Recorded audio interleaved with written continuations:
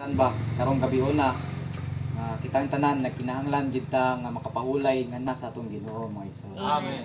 Nga nagkinahanglan atong masayran nga atong tinuod nga kapahulayan, mao gyud ang atong Ginoo mismo sa iyang kaugalingon mga igsoon. Amen. Nga maybe sa atong kinabuhi karon nakapungutan na ta ba kung unsa man gyud ang tinuod nga kapahulayan. Amen nga daghan daghan nato nga nangita ug nangandoy ug tinuod nga kapahulayan mga igsoon. Amen. Nga bisan isa na to, bisan kinsa na to, nangandoy ug nagtinguha gyud nga makapahulay tang tanan. Nga gusto na to nga makapahulay ta.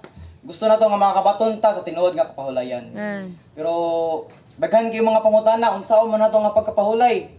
Kay ah sige tagpaabot nga mahuman ang adlaw. Sige tagpangandoy nga mahuman ang simana aron makabaton ta makapahulay ang atong lawas. Pero bisan pa man makapahulay ta physically, bisan pa man makatulog ta, makapahulay ta, maka-rest ta sa atong lawas. Pero ang atong salabutan, ang atong unahuna kay may salaag gyapon.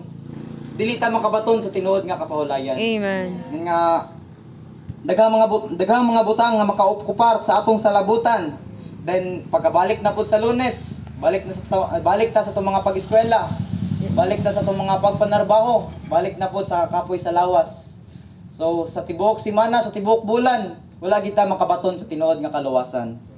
Nga unsaon man nato pagkakita og tinuod nga kapahulayan, kumpletong katagbawan og hingpit nga pagpahimulos nga unang persona nga nakakita og kapahulayan kaya ang atong Dios mga igsoon. Amen. Men nga ang Dios ah, ang pagpahulay sa atong Dios kay kinahilabihan kadako og mahinungdanon nga butang.